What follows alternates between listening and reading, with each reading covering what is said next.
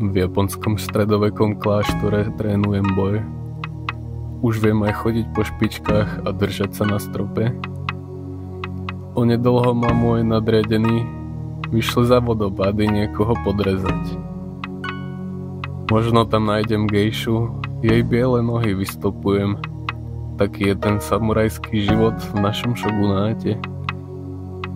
Generál spáchal harakiri a moje tanto tiež už v tichu šepká. Prešiel som sa po drevených mostíkoch, do rúžovej rieky vstupujem a čierne kamene obkolesujem. Poplával som si pri loďkách a rybároch. Veľmi modrá je v noci obloha, ako by v nej nebolo ani kus čiernej. A mesiac je úplne žltý, lampy úplne oranžové. Absolútne nehlučne kráčam po prázdnej štrkovej ulici. Chytám sa dreveného trámu, až plhám po rúžových škrydliach.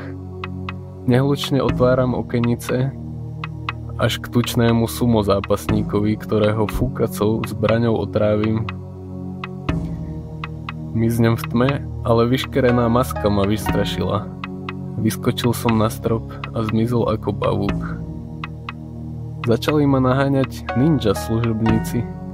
Na ulici začal karneval. Preskočil som na druhú strechu, až ma rozboleli kolená a jedna škrydla sa vo vzduchu zatočila. Šíbe mi prenikol cez šatstvo, ale krv nevystriekla. Spustil som sa do okna tichého domu, vzal šaty a zamiešal sa v hlučnom dave. Jeden dúšok sake, keď pozerám na oranžovú oblohu a spať v rytme dunivého bubna. Pokreslené papiere ja neskupujem.